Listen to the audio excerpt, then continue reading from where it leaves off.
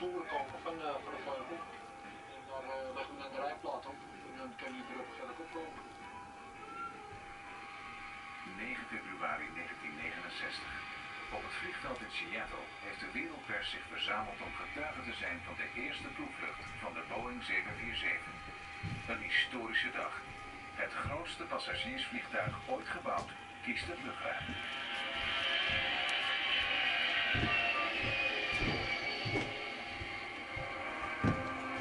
Thank you.